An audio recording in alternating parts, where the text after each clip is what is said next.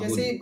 आले इकबाल साहब जो डिप्टी मेयर बने हैं, तो ऐसा साफ़ तौर पर दिखता है कि चाहे गुजरात के चुनाव हो या उसके पहले दिल्ली के चुनाव हों, उसमें आम आदमी पार्टी ने एक रणनीति के रूप में अ, ऐसे मुद्दों पर बोलने से खुद को दूर रखा, जिससे कि ये संदेश जाए कि ये मुस्लिमों के प्रति थोड़ी हमदर्दी रखते हैं या जिसको कोट अनकोट हम सेकुलरिस्ट एजेंडा लेकर चलते हैं।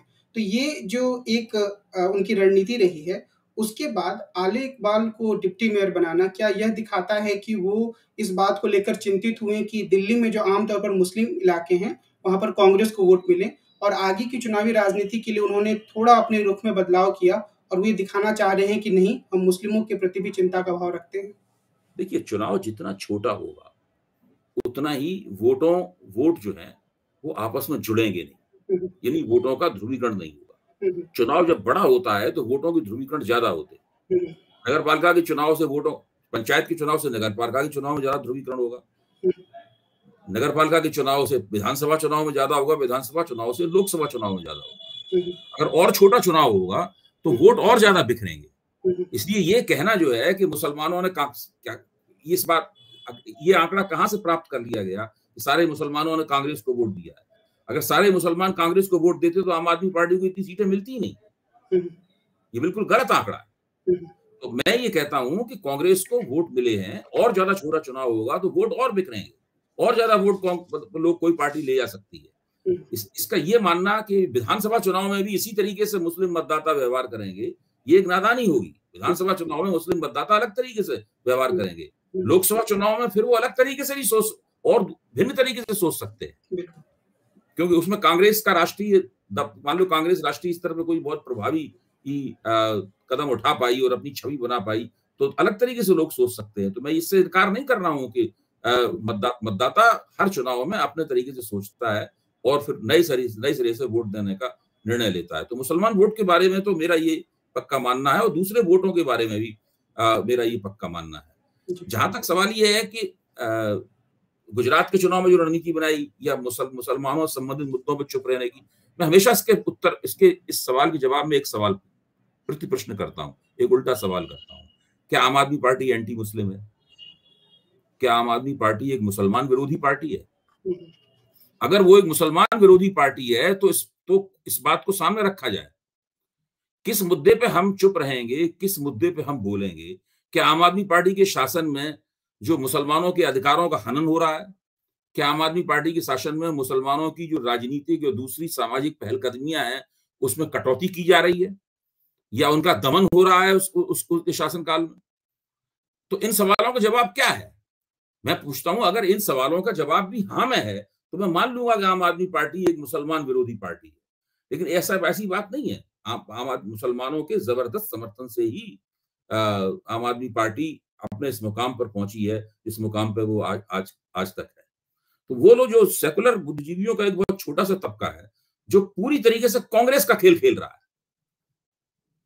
वो वो राहुल गांधी को उसने अपना मसीहा मान लिया है और वो स्पष्ट उस बात को कहने में उसे कोई संकोच भी नहीं रहा। वो राहुल गांधी को अपना मसीहा उन्होंने मान लिया है और वो पूरी तरह कांग्रेस के पक्ष में कांग्रेस के पक्ष में खड़े हुए तो वो लोग कहते हैं कि आम आदमी पार्टी भाजपा की बी टीम है। तो मैं तो 1-2 मित्र जो मेरे मिलते हैं और मुझसे पूछताछ करते हैं, तो मैं उनसे कह कहता हूँ कि अगर आम आदमी पार्टी ना होती, तो 2013 में ही भाजपा दिल्ली में सत्ता में आ गई होती और आज तक भाजपा ही दिल्ली में शासन कर रही होती।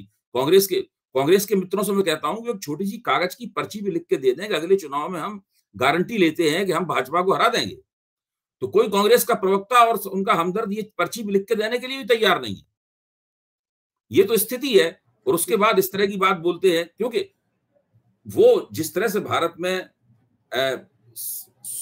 चुनावी सेकुलरिज़्म चलता रहा है, हैं? इसका सबसे बहुचर्चित उदाहरण है इसमें सोनिया गांधी ने ये कहा था अ, 2014 के चुनाव से पहले दिल्ली की जामा मस्जिद के शाही इमाम से मिलकर कि सारे सेकुलर वोट एकजुट हो जाए या मनमोहन सिंह ने कहा था कि भारत के संसाधनों पर पहला अधिकार अल्पसंख्यकों का है। ये उनके सबसे ज़्यादा बहुचर्चित उदाहरण है। इस प्रकार इस प्रकार का सेकुलरिज़्म पूरी तरीके से पिट चुका। देखिए, जवाहरलाल नेहरू के नेतृत्व वाली, सरदार पटेल के नेतृत्व वाली जो कांग्रेस थी, उस कांग्रेस की खूबी क्या थी? वो कांग्रेस क्यों बहुत दिनों तक सत्ता राज करती रही?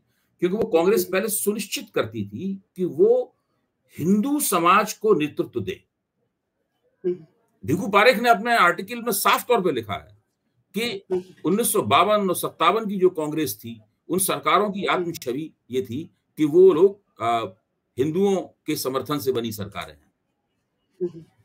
वो लोग जब वो हिंदुओं के समर्थ हिंदू हिंदुओं का हिंदुओं की हमदर्दी और हिंदुओं हिंदू उनके हिंदू उन, उनको सत्ता में बैठाने के लिए राज़ी थे तभी वो देश में मुसलमानों का कुछ हित कर पाए अल्पसंख्यकों का हित हित हित हित, हित कुछ कर पाए।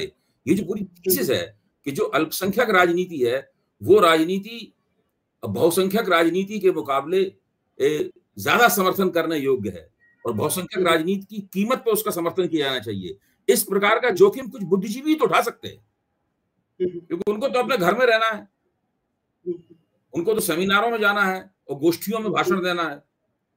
लेकिन कोई पार्टी और नेता इस प्रकार का समर्थ इस प्रकार का जो जोखिम नहीं उठा सकता।